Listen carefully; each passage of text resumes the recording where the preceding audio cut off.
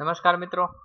Welcome to SK programming last વિડીયોમાં આપણે static keyword વિશે થિયરિકલ ફંડામેન્ટલ જોયું હતું. તેમાં આપણે static variable static block static class અને સ્ટેટિક મેથડ વિશે થિયરી જોઈ હતી. અને ત્યારે મેં તમને એમ કહ્યું હતું કે હવે નેક્સ્ટ વિડીયોમાં આપણે પ્રેક્ટિકલ પરફોર્મ કરશું.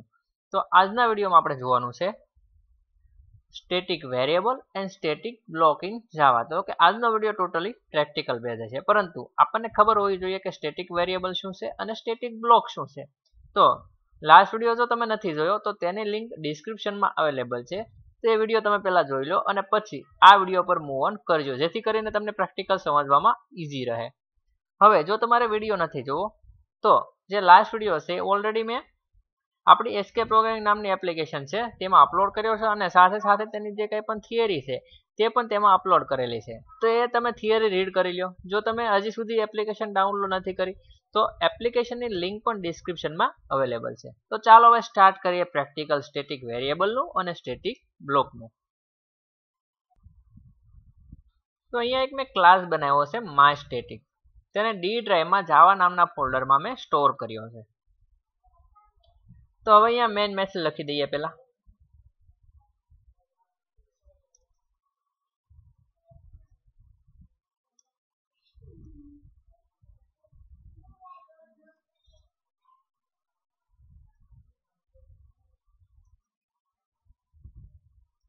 તો સમજીએ કે સ્ટેટિક વેરિયેબલ કઈ રીતે ડિફાઇન કરી શકાય? તો સ્ટેટિક વેરિયેબલ ડિફાઇન કરવો હોય તો સ્ટેટિક કીવર્ડનો યુઝ કરવાનો, પછી ડેટા ટાઈપ અને વેરિયેબલ નેમ હવે સ્ટેટિક વેરિયેબલ જ્યારે તમે ડિક્લેર કરો છો, ત્યારે તમે તેને ઇનિશિયલાઇઝ પણ કરી શકો છો. તો આ જે સ્ટેટિક વેરિયેબલ બન્યો, તેને મેં અહીંયા વેલ્યુ ઇનિશિયલાઇઝ કરી, બરાબર? બીજું કે મારે અહીંયા વેલ્યુ ઇનિશિયલાઇઝ નથી કરી. તો જનરલી જ્યારે પણ તમે આઈટી કંપનીમાં વર્ક કરવા જશો, ત્યારે જે કાંઈ પણ ડેવલપર હોય છે, તે સ્ટેટિક વેરિયેબલ ડિફાઇન કરતા હોય છે. પરંતુ જ્યારે પણ તે ડિક્લેર કરે, ત્યારે તેને વેલ્યુ ઇનિશિયલાઇઝ કરતા નથી. તે કમ્પલસરી સ્ટેટિક બ્લોકનો યુઝ કરતા હોય છે. પરંતુ આપણને નોલેજ નથી સ્ટેટિક બ્લોક શું છે? તો કે સ્ટેટિક બ્લોક કાંઈ નથી, પરંતુ એક વન ટાઈપ ઓફ બ્લોક જ છે. તેનો યુઝ શું થાય છે? તો કે સ્ટેટિક વેરિયેબલને તમારે વેલ્યુ ઇનિશિયલાઇઝ કરવી છે, તો તમે સ્ટેટિક બ્લોકનો યુઝ કરી શકો છો. બરાબર? હવે સ્ટેટિક બ્લોક ક્યારે એક્ઝિક્યુટ થાય? તો કે જ્યારે પણ આપણો આ જે ક્લાસ હોય, એટલે કે જે ક્લાસ મેઇન ક્લાસ હોય આપણો, તે જ્યારે મેમરીની અંદર લોડ થાય છે, ત્યારે સ્ટેટિક બ્લોકનું એક્ઝિક્યુશન થાય છે. તો એ વાતનું તમારે ધ્યાન રાખવાનું છે. બરાબર? સો સ્ટેટિક બ્લોક બનાવવા માટે શું કરવું પડે તો કે સ્ટેટિક કીવર્ડનો યુઝ કરવાનો curly braces start curly braces end તો આ સ્ટેટિક બ્લોક બની ગયો.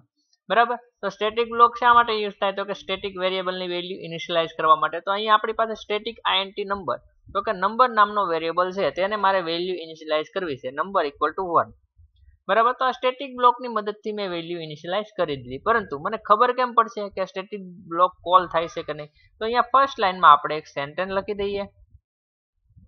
એટલે કે પ્રિન્ટ કરાવી દઈએ system dot out dot print ln અને અહીં આપી દઉં સ્ટેટિક બ્લોક તો કે ફર્સ્ટ તો કે પહેલો સ્ટેટિક બ્લોક બરાબર? તો આ સ્ટેટિક બ્લોક ક્રિએટ થયો.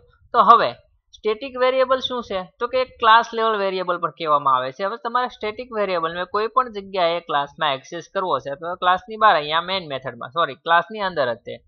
અહીંયા તમારે તેને હેન્ડલ કરવો છે અથવા તો એક્સેસ કરવો છે તો તમારે આ ક્લાસનો ઓબ્જેક્ટ બનાવવાની જરૂર નથી. ડાયરેક્ટલી તમે તે વેરિયેબલને એક્સેસ કરી શકો છો. તે પણ તમને બતાવું.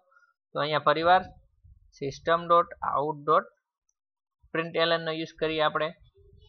અહીંયા હું લખું છું નંબર ઇક્વલ ટુ અહીંયા પ્લસ કરીને નંબર આવી રીતે કરીએ એટલે આ વેરિયેબલ જે સ્ટેટિક છે તે એક્સેસ થઈ શકશે. આ પ્રોગ્રામને સેવ કરી દઉં અને ડી ડ્રાઈવમાં ઓલરેડી સેવ કરેલો. કોપી કરીએ નામ માય સ્ટેટિક છે, બરાબર? હવે સીએમડી ઓપન કરીએ. ડી ડ્રાઈવમાં છે, એટલા માટે ડી કોલમ જાવા નામનું ફોલ્ડર એટલા માટે સીડી કમાન્ડ એટલે કે જેન ડિરેક્ટરી જેન જાવા તો જાવા નામનું ફોલ્ડર હવે આપણે પેલા ક્લાસને કમ્પાઇલ કરવો પડે. તો કે જાવા સી કમાન્ડનો યુઝ અને ક્લાસ નેમ અને ડોટ જાવા એક્સટેન્શન યુઝ કરવાનું. તો કે અહીંયા કોઈ એરર નથી. સક્સેસફુલી આપણો જે ક્લાસ છે તે કમ્પાઇલ થઈ ગયો. તો હવે આપણે રન કરાવીએ. જાવા માય સ્ટેટિક તો તમે અહીંયા જોઈ શકો છો static block one then number equal to one એટલે કે અહીંયા આપણે ક્લાસની અંદર બે system dot out dot print ln ફંક્શનનો યુઝ કર્યો છે. પેલું છે તો કે ખાલી સ્ટેટિક બ્લોક વન પ્રિન્ટ કરવા માટે અને સેકન્ડ છે નંબરની વેલ્યુ પ્રિન્ટ કરવા માટે. તો અહીંયા આવે છે, બરાબર? તો અહીંયા મેં તમને સમજાવ્યું કે સ્ટેટિક વેરિયેબલ હોય, બરાબર, તે આપણે ડાયરેક્ટલી એક્સેસ કરી શકીએ છીએ. બરાબર? આ ક્લાસનો વેરિયેબલ કયો છે? તો કે નંબર નામનો, તે સ્ટેટિક છે. તો અહીંયા મેં ડાયરેક્ટલી યુઝ કર્યો. અહીંયા મારે આ ક્લાસનો ઓબ્જેક્ટ બનાવવો પડ્યો નથી. બરાબર? જો નોર્મલ વેરિયેબલ હોત ને નંબર તો આપણે ઓબ્જેક્ટ થ્રુ તેને હેન્ડલ કરવો પડે. એ પણ હમણાં બતાવું બીજું. કે આપણે પ્રોગ્રામને રન કર્યો તો પેલું આઉટપુટમાં શું આવ્યું? સ્ટેટિક બ્લોક વન એટલે કે અહીંયા જે લખ્યું છે સ્ટેટિક બ્લોક વન અને ત્યાર પછી આવ્યું નંબર ઇક્વલ ટુ વન એટલે કે આ સ્ટેટમેન્ટ તો એનો મતલબ એમ કે આ જે સ્ટેટિક બ્લોક આપણે ક્રિએટ કરીએ છીએ ત્યાં મેઇન મેથડ એક્ઝિક્યુટ થાય, તેના પહેલા સ્ટેટિક બ્લોક છે તે એક્ઝિક્યુટ થતો હોય છે, બરાબર?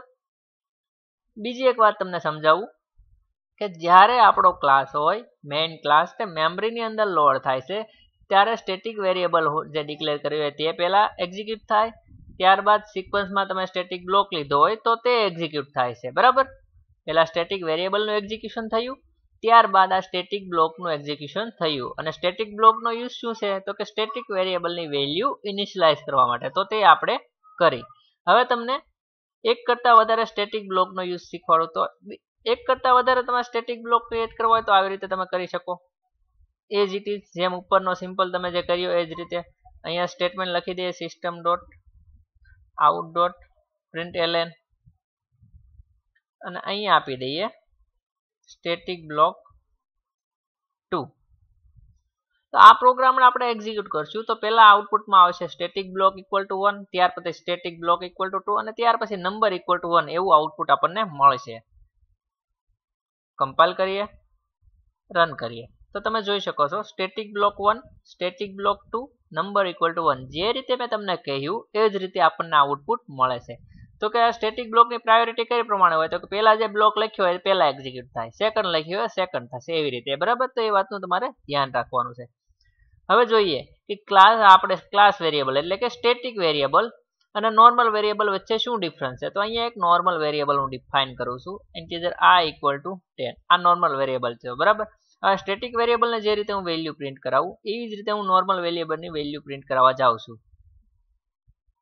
આ ઇક્વલ ટુ અહીંયા કરી દઈએ. આઈ બરાબર? તો જે રીતે આ સ્ટેટિક વેરિયેબલનો યુઝ કર્યો છે પ્રિન્ટ કરાવવા માટે, એ જ ઇટ ઇઝ હું નોર્મલ વેરિયેબલને લઉં છું. આઈ છે નોર્મલ વેરિયેબલ છે અને નંબર જે છે એ ક્લાસ વેરિયેબલ એટલે કે સ્ટેટિક વેરિયેબલ છે. બરાબર? તો કમ્પાઇલર પ્રોગ્રામને કમ્પાઇલ થવા દેશે નહીં. કેમ કે જે નોન સ્ટેટિક વેરિયેબલ હોય એટલે કે આઈ નામનો વેરિયેબલ તેને તમે ડાયરેક્ટલી યુઝ નથી કરી શકતા. એટલે કે એક્સેસ નથી કરી શકતા. જોઈએ. કમ્પાઇલ કરીએ. તો અહીંયા તમને એરર ડિસ્પ્લે થાય છે. My static Java seventeen line error non static variable i can not be reference from a static context અને અહીંયા એરરનું નિશાન આવે, એટલે કે ચિહ્ન આવે છે. એટલે કે આઈ નામનો જે વેરિયેબલ છે તે નોન સ્ટેટિક છે. એટલા માટે તમે તેને ડાયરેક્ટલી અહીંયા યુઝ કરી શકો નહીં. તો હવે તમારા આઈ નામનો વેરિયેબલ જે છે નોર્મલ વેરિયેબલ તેને અહીંયા યુઝ કરવો હોય તો શું કરવું પડે? તો પહેલાં જોવાનું કે આઈ નામનો વેરિયેબલ ક્યાં ક્લાસનો વેરિયેબલ છે? તો કે માય સ્ટેટિક તો જેનો ઓબ્જેક્ટ ક્રિએટ કરીને પછી તમે તેને એક્સેસ કરી શકો. તો અહીંયા સિમ્પલી ઓબ્જેક્ટ ક્રિએટ કરી દેવાનો. Class name then object name then new keyword then class name and bracket તો હવે આઈ નામનો વેરિયેબલ તમારે અહીંયા પ્રિન્ટ કરાવો હોય તો અહીંયા ઓબ્જેક્ટનું નામ લખી દેવાનું ઓબીજે તો કે ઓબીજે ડોટ આઈ હવે આ તમે એક્સેસ કરી શકશો. કમ્પાઇલ કરીએ. હવે રન કરીએ. સોરી તો હવે તમે જોઈ શકો છો static block one static block two number equal to one આ ઇક્વલ ટુ ટેન તો હવે સક્સેસફુલી અહીંયા આ ઇક્વલ ટેન તો એ પ્રિન્ટ થઈને આવે છે. તો આ મેન ડિફરન્સ છે નોર્મલ વેરિયેબલ અને ક્લાસ વેરિયેબલ એટલે કે સ્ટેટિક વેરિયેબલમાં શું? તો કે સ્ટેટિક વેરિયેબલને તમે ડાયરેક્ટલી એક્સેસ કરી શકો છો. જ્યારે નોર્મલ વેરિયેબલ હોય તેને તમારે એક્સેસ કરવો હોય. તો એના માટે તમારે શું કરવું પડે છે? તો કે ઓબ્જેક્ટ ક્રિએટ કરવો પડે છે. તો આજના વિડીયોમાં સિમ્પલ ટર્મ્સમાં આપણે જોયું static variable and static block વિશે હવે આને રિલેટેડ જે કંઈ પણ થિયરિકલ કન્સેપ્ટ છે, તેને હું આપણે એસકે પ્રોગ્રામિંગ નામની એપ્લિકેશનમાં અપલોડ કરી દઈશ. જો એ એપ્લિકેશન તમે ડાઉનલોડ નથી કરી, તો તેની લિંક ડિસ્ક્રિપ્શનમાં અવેલેબલ છે. તો તે એપ્લિકેશન તમે ડાઉનલોડ કરી લેજો. જો આજનો વીડિયો તમને પસંદ આવ્યો તો વિડીયોને લાઇક કરો.